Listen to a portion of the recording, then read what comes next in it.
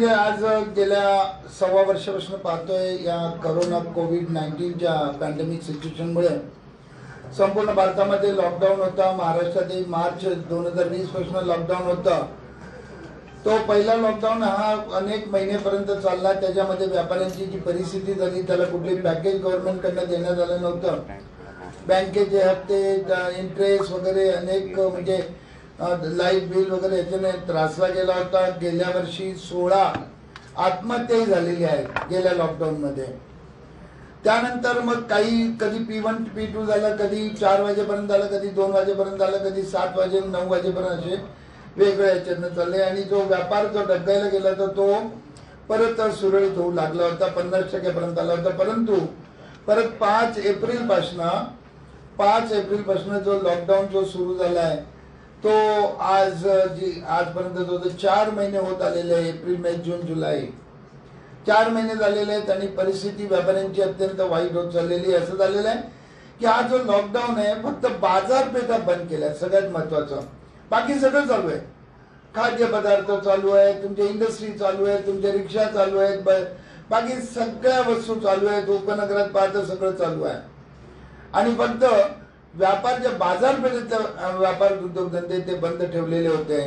आणि त्यानंतर त्यांनी त्यावेळेला ई कॉमर्स याच्यातनं म्हणजे जीवनाशक वस्तू सोडून सुद्धा ज्या जीवनाशक वस्तू नाही अशांनाही परवानगी दिली. खरं तर कागदपत्र त्यांना परवानगी दिली नव्हती. परंतु त्यांनी तरी त्यांचे व्यवसाय चालू असल्यामुळे आम्ही पुणे व्यापारी महासंघातर्फे तक्रारी केली फोटो दिले प्रूफ दिले. परंतु त्यांच्या कुठली तक म्हणजे कारवाई केली गेली नाही अपार्ट फ्रॉम दॅट आज पुणे शहरातली संख्या गेल्या म्हणजे आम्ही आठ एप्रिलला जेव्हा आंदोलन केलं होतं साखळी उपोषण आंदोलन केलं होतं त्यावेळी आम्ही एक घोषणा केली होती की आम्ही आता दुकाने उघडणार.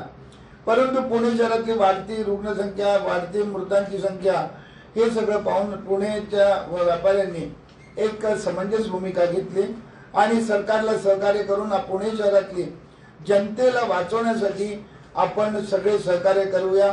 हा करोना घालवण्यासाठी सहकार्य कर म्हणून पुणे शहरातील सर्व व्यापाऱ्यांनी दुकाने बंद ठेवून सरकारच्या आदेशाचे पालन केले. मात्र आता दिवसेंदिवस संख्या घटत आहे आणि टास्क फोर्स अजूनही मला कळलेलं नाही की टास्क फोर्स कधीही शहरामध्ये आली नाही. त्यांनी स्वतःहून कुठे पाणी केली नाही.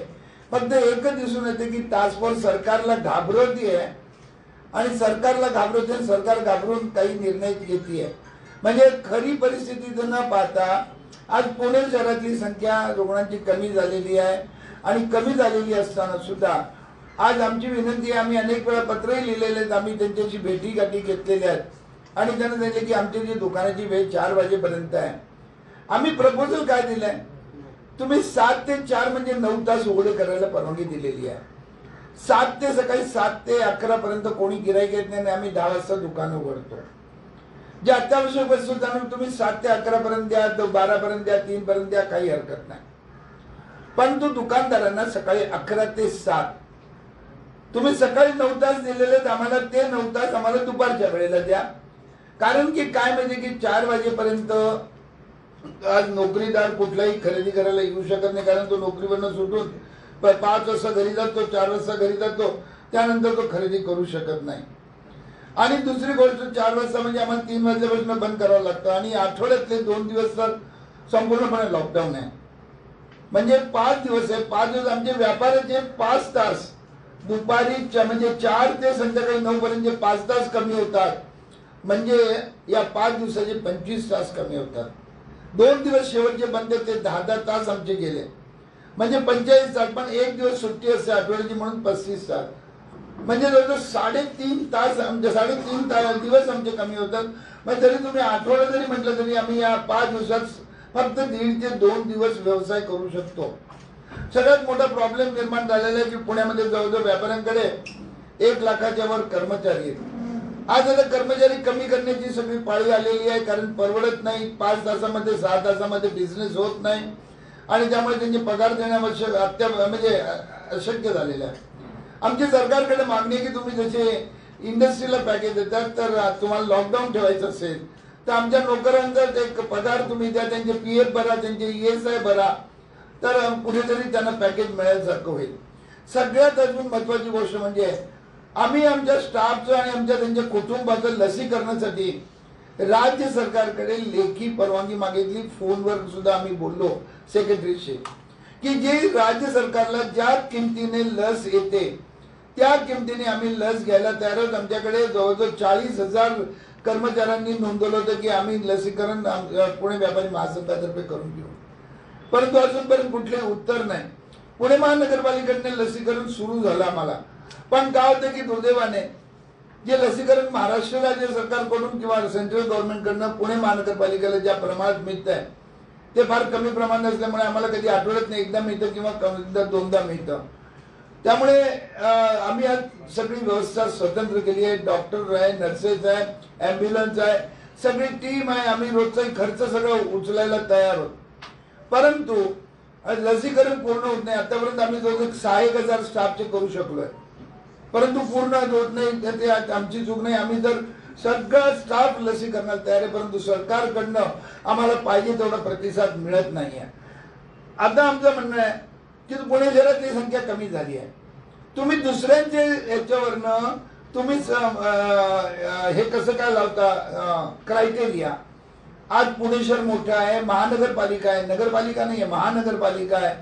आज म्हणजे आपण जे आपण जे चार सिटी जे आपले म्हणतो महारा भारतातल्या जो मेट्रो सिटीज म्हणतो त्याप्रमाणे आज त्याची पुणे शहराची व्यवस्था झालेली आहे. परंतु त्यामध्ये आज संख्या कमी झालेली असताना सगळे प्रिकॉशन घेतली जात असताना आमचं एक म्हणणं आहे की दुकानं त्यांचं जे एक समीकरण मला अजून कळलं नाहीये. टास्क फोर्स कुठनं ते समीकरण लागतं की व्यापारामुळे सं- संक्रमण होतं? आज नॉन एसेन्शियल जे आमचे आहेत आयटम्स आहेत त्याच्यामध्ये दिवसातनं पंधरा वीस गिराईक सुद्धा येत नाहीयेत. बिझनेस एकदम खालावला गेलेला आहे.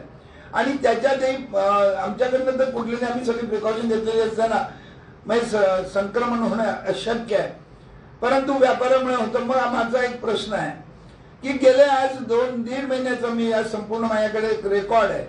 याच्यामध्ये जी संख्या आजपर्यंत रुग्णाची आहे ती अडीचशे दोनशे ते दीडशे ते तीनशे पर्यंतची ती मेंटेन आहे दुकानं बंद होते. मग जर दुकानं बंद असून किंवा दुकानं उघडी होते सुद्धा तीच होती संख्या. मग दुकानांच्या मुळे संक्रमण होतं हे म्हणणं चुकीचं आहे. टार्सोचे सगळे म्हणजे जे आज क्रायटेरिया लावतायत ते अत्यंत चुकीचं आहे. म्हणून शेवटी आम्ही विनंती केली की आम्हाला अकरा ते नऊ उघडू आठ पर्यंत उघडू द्या. किंवा आम्हाला तुम्ही चार वाजेपर्यंत देणार असाल तर फुल आठवडा उघडू द्या. लॉकडाऊन जो शनिवार रविवार तो बंद करा. आम्हाला आमची वेळ आहे अकरा ते आठ हे फुल आठवडा बिझनेस करू द्या. आज बँकेचे प्रॉब्लेम आहेत आज व्याज लागत आहे. ते इन्कम होत नाहीये. आणि त्यामुळे व्यापारी एकदम डबगायला आलेला आहे. लोकांनी दो- आता मध्यंतरी दोघांनी आत्महत्या केल्या आहेत आणि जी ही परिस्थिती होत असेल तर मात्र चुकीचं आहे. म्हणून हा जो आता कालही निर्णय आला की आहे तसेच निर्बंध तसे ठेवलेले आहेत. आम्हाला पेपरमध्ये जर कळते की आठ तास तुम्हाला आठ वाजेपर्यंत परवानगी देणार परंतु नाही. संपूर्ण गुढीपाडवा गेला अक्षय तृतीया गेली त्याचप्रमाणे ईद गेली आणि लग्न सराई गेली. संपूर्ण आम्ही माल जो आमच्या लोकांनी स्टॉक करून ठेवला तो तो सगळं जाऊन गेला. आणि आज व्यापार न करता त्यांच्यावर उधारी वाढली त्यांच्यावर कर्ज वाढलं आणि ते फेरवू शकले नाही. ऑन द कंट्री ई कॉमर्सचे तुम्ही नॉन एसेन्शियल वस्तू खरेदी जातात आणि आम्हाला आमच्या छोट्या व्यापाऱ्यांना हा आर्थिक फटका बसतो आहे म्हणून आम्ही शेवटी आज आम्ही विनंती केलेली आहे ती अजूनपर्यंत मान्य झालेली नाही आहे आम्हाला जर तुम्ही नऊ तास अकरा ते सकाळी दहा ते सात किंवा आठ वाजेपर्यंत बिझनेस द्या आणि सरकारला एवढं सांगूनही अजून जाग येत नाहीये. त्याच्यावर का निर्णय घेत नाही माहीत नाही. प्रत्येक सांगितलं जाते की आम्ही मंत्रिमंडळात निर्णय घेऊ परंतु घेतला जात नाही. कालही आपण पाहिलं दोन वेगवेगळ्या मंत्र्यांची दोन वेगवेगळी स्टेटमेंट आली. त्यांच्यात एक एक सूत्रता दिसून सुद्धा आली नाही. आणि त्यामुळे व्यापारी संतप्त झालेत एकदम अग्रेसर झालेले आहेत. आणि म्हणून सरकारला जागे करण्यासाठी सरकारकडनं आम्हाला आमचा न्याय मिळण्यासाठी आमच्या पुणे व्यापारी महासंघाने सर्वानुमते आंदोलन करण्याचं ठरवलंय. आणि ते आंदोलन म्हणजे मंगळवारी पुणे शहरात ठिकठिकाणी घंटानाद सकाळी बारा ते पंधरा बारा वाजून ते बारा पंधरा पर्यंत पंधरा मिनिटाचा संपूर्ण व्यापारी क्षेत्रामध्ये घंटानाद करण्यात येणार आहे. या उपरांतही जर नाही झाला तर बुधवार बुधवारपासून आम्ही संध्याकाळी चार नंतर दुकाने उघडी ठेवून सात वाजेपर्यंत उघडी ठेवण्याचा निर्णय पुणे व्यापारी महासंघाने घेतलेला आहे. कारण आपण पाहता रस्त्यावर गर्दी तितकीच आहे. शनिवार रविवार संपूर्ण लॉकडाऊन असताना फुल ट्रॅफिक आहे. तुम्हाला पर्यटन पर्यटन स्थळ संपूर्ण भरलेली आहे मग प्रत्येक वेळी व्यापाऱ्यांनाच हा बुक्कीचा मार्ग का? मला अजून कळत नाही की तुम्ही सगळे स्टॉल संध्याकाळपर्यंत उघडे. सगळी हॉटेल रात्रभर चालू आहेत. कशी काय चालू आहे तुम्ही जर आज जी सगळी जर करत असेल त्यांना आणि फक्त व्यापार वर्ग बाजारपेठेतले जर बंद ठेवणार असाल तर व्यापारावर होणारा अन्याय आता व्यापारी सहन करू शकत नाही. म्हणून आम्ही हा निर्णय घेतलेला आहे की मंगळवारी सकाळी म्हणजे सर बारा ते बारा पंधरा हे संपूर्ण म्हणजे जे जे आपले जे व्यवसायाची ठिकाणं मेन मेन जे बाजारपेठ आहेत तिथे दुकानाच्या बाहेर सगळे जण घंटानाट पंधरा मिनिटं करणार आहेत. या उपरांती या उपरांती जर सरकारने कुठला निर्णय घेतला नाही तर बुधवार बुधवार संध्याकाळी जे चार वाजेपर्यंत आमच्यावर निर्बंध आहेत ते आम्ही त्यांचं उल्लंघन करून संध्याकाळी चार ते सात हे सुद्धा आम्ही म्हणजे अकरा ते नऊ नऊ तास तुम्ही दिलेत आम्ही नऊ तास आम्ही पाळायला तयार आहोत. म्हणून संध्याकाळी सात वाजेपर्यंत आम्ही दुकाने उघडी ठेवणार आमच्या व्यापाऱ्यांनी एक ठरवलं जरी आम्हाला अटक केली आम्हाला जरी काही त्यांच्यावर कारवाई केली तरी आम्ही सामोरे जाण्यास तयार आहोत अशी एकंदरीत व्यापाऱ्यांची भावना आहे आणि तो आपल्या पुढे आज प्रेस चॅनल मार्फत मी आपल्या पुढे दिलेला आहे. आपल्याला जर काही आपण काही बोलणार? एक मिनिट आमचे उपाध्यक्ष श्री सूर्यकांत पाटील साहेब बोलतील.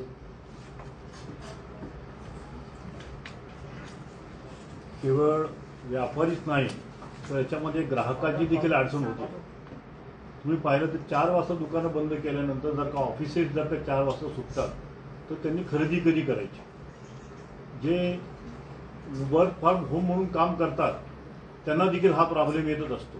कारण त्यांचे फोन चालू असतात त्यामुळे सगळ्यांना जी वेळ सोयीची आहे ती वेळ सगळ्यांना सोयीची नसल्यामुळे आणि जेवढा वेळ कमी तेवढी गर्दी अधिक.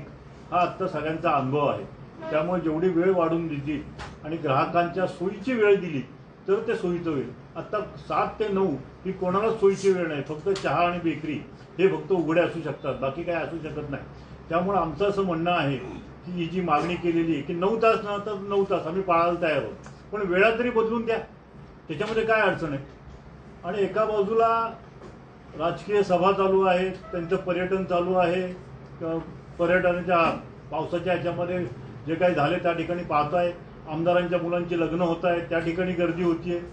म्हणजे सगळी मोर्चे होत आहेत हे सगळं चालू असताना फक्त आम्हालाच का? आणि वास्तविक पाहता आमचं जे टॅक्स आम्ही प्रामाणिकपणे भरतो सरकारचं टॅक्सच्या कलेक्शनची जबाबदारी देखील त्यांनी आमच्यावरच टाकलेली आहे. मग जीएसटी असो किंवा पूर्वीचा वॅट असो आम्ही बिना पैसा सर लोकांकडनं टॅक्स गोळा करायचा आणि तो सरकारला द्यायचा. आणि सरकारने परत आमच्यावरच लादायचं. आणि मग एका बाजूला जीएसटी वाढत चाललाय असं तुम्ही म्हणता. तो कोणाच्या जीवावर चाललाय? तो व्यापाऱ्यांच्या जीवावर चाललाय. उद्या व्यापाऱ्यांनी जर का ठरवलंच की आम्ही जीएसटी भरणारच नाही तर सरकार काय करणार आहे? परंतु आम्हाला करोनाच्या काळातली सरकारची परिस्थिती माहिती आहे.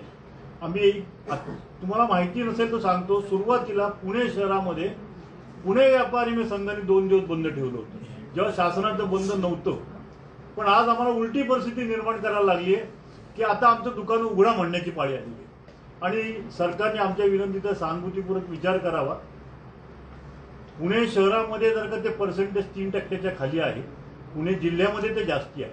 त्यामुळे जिल्हा आणि शहर याची गल्लत न करता पुणे शहरामध्ये ज्या बाजारपेठ आहेत त्या उघडायला परवानगी द्यावी.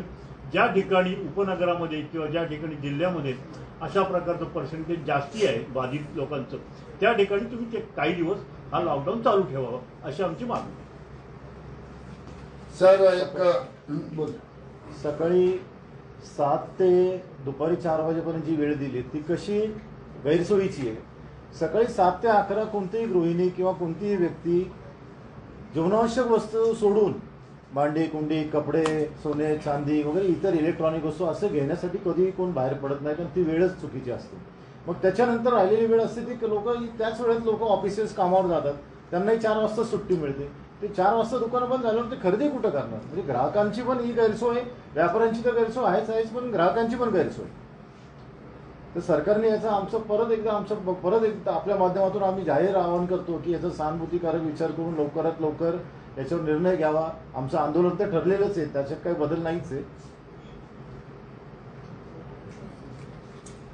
येस एनी क्वेश्चन दादांनी तुम्हाला मागच्या वेळेस आश्वासन दिलं होतं. दादाही स्वतः बोलले होते आम्ही सकारात्मक होतो. मागच्या कालच्या मीटिंगमध्ये ते तुम्हाला डिक्लेअर केलं सोमवारपासून करू मग घोडं नेमकं कुठं अडतं आता एक कसं आहे ना बोलणं आणि कृती करणं हा फार मोठा फरक आहे. त्यांचं एक मध्ये ते एक शब्द वापरतात मुख्यमंत्र्यांशी बोलणं आता त्यासाठी तर आम्ही तर जात नाही. ना त्यांनी जे दिलंय आश्वासन पाळावं त्यांनी. सोमवार आम्हाला पंधरा दिवस झाले आज भेटून. आम्हाला गेल्याच्या गेल्या गुरुवारी दिलं होतं सोमवारपासून आम्ही मुख्यमंत्र्यांशी बोलून करू. पंधरा दिवस झाले. बरोबर आहे. मग आजपर्यंत झालं नाही. हे टास्क फोर्सची ही मस्ती आहे. मी तर हा शब्द वापरतो त्यांना चौकीची इन्फॉर्मेशन आणि दुसरी गोष्ट तिसरी लाट तिसरी लाट तिसरी लाट जूनपासून म्हणतायत. काय आली तिसरी लाट का घाबरवते सरकारला का जनताला घाबरवते टास्क फोर्स तुमची तुमची अकार्यक्षमता टास्क फोर्सची ही आज व्यापाऱ्यावर जनतेवर का लढताय जनता सुद्धा इतकी हैराण झालेली आहे. फक्त तुम्ही जर गृहिणींची एक स्टेटमेंट घ्या म्हणजे कळेल. अक्षरशः वैतागून गेलेले आहेत. आज एक नवीन अहवाल पण समोर आला त्याच्यामध्ये असं सांगितलं की राज्यातल्या दहा सॉरी देशातल्या दहा राज्यामध्ये कोरोना पुन्हा एकदा वाढतोय आणि त्याच्यामध्ये महाराष्ट्राचा समावेश आहे. अशा स्थितीमध्ये महाराष्ट्रातला समावेश महाराष्ट्रातले फक्त अकरा जिल्हे. हा जो जो आजचा जो रिपोर्ट आहे सेंट्रल गव्हर्नमेंटचा त्यात दहा राज्यापैकी महाराष्ट्रातले फक्त अकरा जिल्हे. त्याच्यामध्ये वाढले त्यात पुणे शहर हा एक सिटी आहे मोठं आहे पिंपरी चिंचवड एक मोठी सिटी आहे. ग्रामीण भागात वाटलं तर त्यात तुम्ही रिस्ट्रिक्शन आणू शकता. पण आज पुढचं एक स्टेटमेंट आलंय की जिल्हा परिषद फेल केली. त्या संपूर्ण याच्यामध्ये तेही आज सकाळ आणि न्यूजपेपरमध्ये आलेलं आहे. की जे त्यांनी तिथं प्रतिबंध करायला पाहिजे होती त्याच्यामध्ये फेल केली. आणि सगळ्यात गोष्ट मोठी जर तिथे सगळं सुरू आहे काहीच बंधन पाळले जात नाही तिथे मास्कही वापरले पाळले जात नाही तिथे वाढते जर ग्रामीण भागात ती शिक्षण शहरी भागाला का? आज संपूर्ण महाराष्ट्राचं टॅक्स कलेक्शन हे ग्रामीण भागापेक्षा आज शहरी भागात मोठ्या प्रमाणात आहे. म्हणून दिल्लीने जो एक रिपोर्ट दिला तो शेवटी कशामुळे देतात? हे ट्रान्सफॉर्म करणं कडनं रिपोर्ट असतो. पण काही ठिकाणी मला एक सांगा अक्का म्हणजे जालना ठिकाणीला त्या म्हणजे जळगावला पॉईंट थ्री पर्सेंट सुद्धा नाहीये. तरी तिथे बंधन आहेत का? हा जळगाव जिल्हा आहे ना. आम्हाला सगळीकडनं रिपोर्ट येतात. आज सगळ्याकडनं सगळ्या जिल्ह्यामधनं कमी आहे. तरी परंतु कुठे एखाद्या गावामध्ये संख्या वाढली म्हणजे अख्ख्या जिल्ह्याला तर आज बंधन करायचं किती चुकीचं आहे. याला पर्याय शेवटी हा लसीकरण आहे हंड्रेड मग आम्हाला लसीकरण आम्ही आज तीन चार महिने झाले आम्ही स्टेट गव्हर्नमेंटला डॉक्टर राजेश टोपे यांना मुख्यमंत्री साहेबांना उपन आम्ही तुम्हाला तीनशे काही रुपयाला मिळते त्या रुपयाला आम्ही तुमच्याकडनं खरेदी करायला तयार आहोत आमच्या स्टाफसाठी. उत्तर नाही.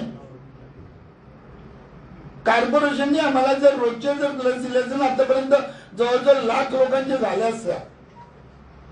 तुमचा पेट्रोल शॉप लाख भराचा फक्त सहा हजार झाले हो. फक्त आम्ही किती किती रोज आम्ही चाळीस लोकांची टीम केलेली आहे. सगळी तयारी आमची आहे.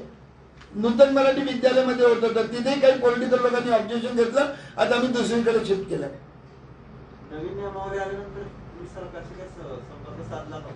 कुठलं? नवीन नियमावली आल्यानंतर काल नवीन काल आता संध्याकाळी आली. आज सुट्टी आहे. काल आली ना? काल रात्री आली आहे आज सुट्टी आणि त्यांनी काय नवीन नियमावली नाही केली आहे. तर जुनी कंटिन्यू ठेवली आहे. काय होतं एकाकडे. एकीकडं मंत्री महोदय म्हणतात की मी मधनं सोमवारी उठवतो त्या सोमवारला काय एंड नाहीये ते दोन सोमवार झाले. परवा गृहमंत्र्यांनी स्टेटमेंट दिलं की आम्ही दोन दिवसात उठवतो. आणि एकीकडं कॉर्पोरेशन परत ते निर्बंध आहे तसे चालू ठेवण्याचा आदेश काढते. म्हणजे व्यापाऱ्यांच्या जखमीवर मीठ सोडायचंच काम चाललंय आणि वेळ काढू पण आहे. टोलवाटोलवी चालली की आज होतं. सरकारमधलं कुठेतरी याच्यात मतभेद दिसत तो त्यांचा प्रश्न आम्ही कसं सांगणार? कारण आम्ही नसतो त्या मंत्रिमंडळात ना? त्यांच्या त्यांचा प्रश्न आहे. आम्हाला एवढं माहिती आहे तुम्ही आमच्या तिथं जर अधिकारी आहात मंत्री आहात तर निर्णय तुम्ही घेतला पाहिजे. कारण दोन्ही आश्वासन देणारे मंत्री राष्ट्रवादीचे आणि अडवलं जातं ऑब्व्हियसली टास्क फोर्समध्ये सीएम ते शिवसेनेचे. असं काय आहे का? सर एक बघा. आता वरच्या लेवलचं आम्ही काय सांगणार? आमच्या व्यापाऱ्यामधलं बोला ना मग आम्ही लगेच उत्तर देतो. मंत्रिमंडळाचं काय बोलणार हो? ते तर काय आता एकमेकांची भांडतात संध्याकाळी टेबलावर एकत्र असतात. काय उपयोग आहे तुम्ही ई कॉमर्सचा विषय काढला हा. तर ई कॉमर्सला परवानगी आहे आणि तुम्हाला असं म्हटलं तुम्ही कॉम्पिटिशन काउन्सिलला अप्रोच केलेले आहे. सगळीकडे एक लक्षात ठेवा ई कॉमर्सच्या बाबतीत आम्ही प्रूफ सहित दिले कॉम्पिटिशन नाही केलं नंतर आपले पीएमसी कमिशनरनं केलं डिव्हिजनल कमिशनरकडे दिलं नंतर त्याचप्रमाणे अं, पोलीस कमिशनर यांना सुद्धा संपूर्ण फोटोग्राफ सहित दिले की तुम्ही बंदी असताना आज काल म्हणजे ऍक्च्युअल तुम्हाला सांगतो एक मोठे अधिकारी आमच्या बरोबर तिथंच होते मीटिंगमध्ये त्यांनी सांगितलं एकाने सांगितलं की नाही त्यांनी नाही करत. ते अधिकारी स्वतः म्हटले की माझ्या मुलांनी काल ऑर्डर दिली आणि ती आली आहे. आणि ते देऊनही देऊनही त्याच्यावर काही ऍक्शन नाही झाली. फक्त एवढंच की आमच्या हद्दीत येत नाही. ते वागवलेलं आहे. हे बघा कोणाकोणाला दिलं? एक मेला आम्ही हे लेटर दिलं उद्धवजी ठाकरे सौरभ राव अजितदादा पवार डॉक्टर राजेश देशमुख विक्रम कुमार आणि अमित अमिताभ गुप्ता यांना दिलं होतं कंप्लीट त्यांनी सांगितलं आम्ही ऍक्शन घेऊ. परंतु नंतर मला असं उत्तर देण्यात आलं की ते वागवली म्हणजे आमच्या हाती येत नाही वगैरे वगैरे. आणि नंतर आणि तसंच चालू आहे. मग जर इथलीच अधिकारी जे ऑर्डर काढतात ऑर्डर कोणी काढली? कॉर्पोरेशनने त्या नियमाप्रमाणे करायला पाहिजे. त्याने आम्ही त्यांच्याकडेच रडगाणं करणार ना आमचं. सेंटरची ऑथॉरिटी आहे. एक मिनिट सेंटरची जेव्हा त्याच्यात स्ट्रिक्टली लिहिलं नाही करायचं मग इम्प्लिमेंटेशन कोणी करायचं असतं पोलीस? सर- कॉम्पिटिशन काउन्सिलला पाठवलं तरी ते वरती यांच्याकडेच पाठवणार. आज मला एक सांगा त्यांची जी ऑर्डर आहे त्यांची जी ऑर्डर आहे सेंट्रल गव्हर्नमेंटची की यांना ई कॉमर्स वाल्यांना परवानगी द्यायची नाही म्हणून मग ती इम्प्लिमेंटेशन कोणी लोकलने करायची असते? आम्ही लोकलकडे सगळीकडे दिलेले ना मग आम्ही कॉम्पिटिशनकडे जाण्याचा काही प्रश्न येतोच कुठे? त्यांनी त्यांचा गटला भरायला पाहिजे ना. नाही नाही परंतु याच्यात अजून एक मी ऍड करतो. महाराष्ट्र गव्हर्नमेंटनी चोवीस एप्रिलला नोटिफिकेशन काढून अत्यावश्यक सेवा वगळून बाकीच्या याच्यावर बंदी घातली होती ई कॉमर्सला सुद्धा. त्यावेळी पण आम्ही सगळे पुरावे आमच्याकडे लेटर याच्यावर पुरावे पण आहेत सगळे. सगळे जोडून आम्ही त्यांना दिलं होतं पण कोणतीही कारवाई इथं पुरावे जोडलेले आहेत. सगळे मला सांगा ना आता ही ऑर्डर कोणी काढली महाराष्ट्र गव्हर्नमेंटनी मग आम्हाला महाराष्ट्र गव्हर्नमेंटलाच पोहोचणार आम्ही कशाला सेंट्रलला जाऊ? काही जरूर नाहीये. तुम्ही इथले इम्प्लिमेंटेशन करणार आहे तेच करत नाही तर मग तिथलं दिल्लीला काय करणार आहे यांचं नोटिफिकेशन स्वतः गव्हर्नमेंटने काढलेलं सरकारचं महाराष्ट्र सरकारने मला अजून? कळलं नाही हा प्रश्न निर्माण येतो कुठे? जेव्हा स्टेट गव्हर्नमेंट नोटिफिकेशन काढते मला काही जरूर नाही ना. मी स्टेट गव्हर्नमेंटची ऑर्डर पाळतो ना. आज ही नि- आपले निर्बंध कोणाचे पाळतोय स्टेट गव्हर्नमेंटचे दुकानं बंद कोण केंद्राच्या याच्यामुळे ठेवलेत का सेंटर आपल्या राज्य सरकारची? संपला प्रश्न. मला तिथे जायची जरूर नाही.